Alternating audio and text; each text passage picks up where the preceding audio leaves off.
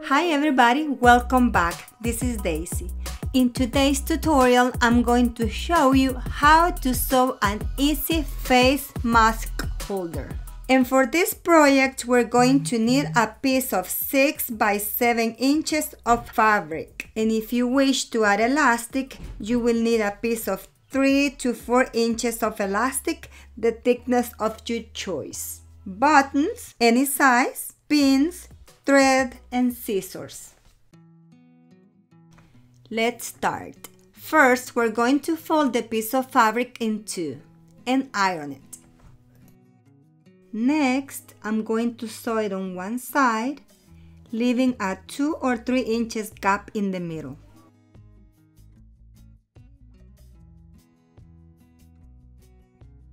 Now I'm going to move the stitch side to the middle or where we wish to place the elastic in case we're using one and iron it again.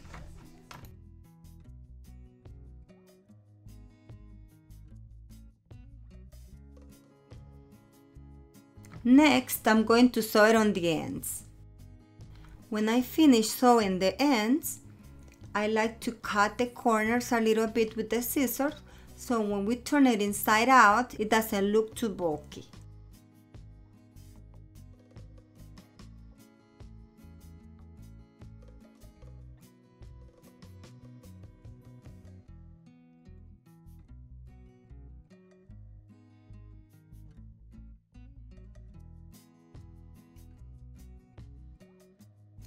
I'm going to turn it inside out and iron it again.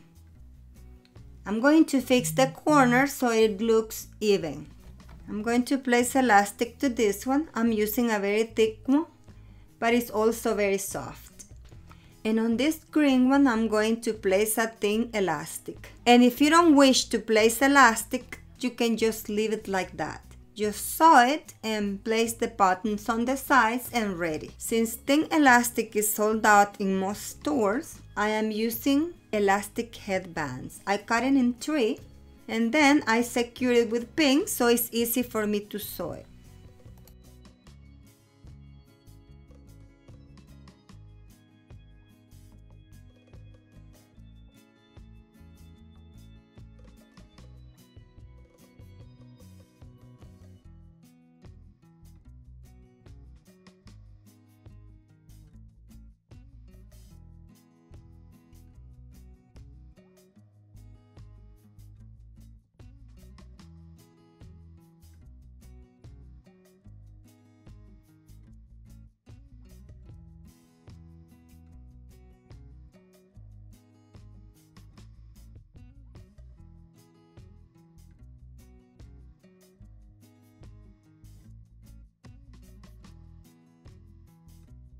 When placing the thick elastic, I like to sew the sides first and then I sew the center.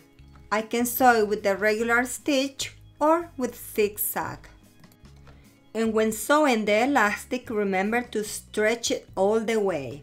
And if you are sewing the thick elastic, remember to sew it in both sides or even in the center if you wish.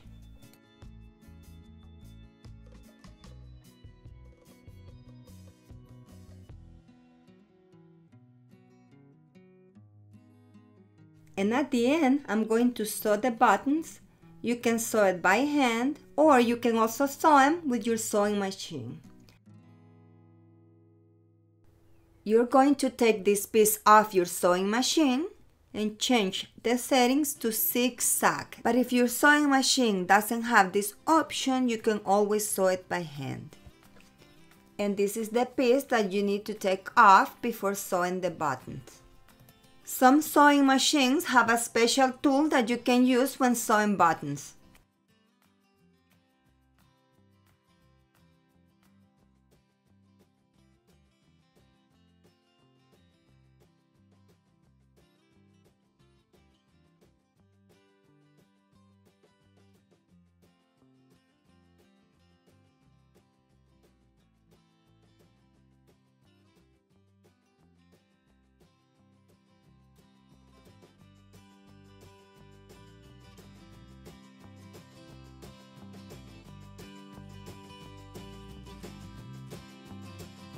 And here we have the beautiful face mask holders.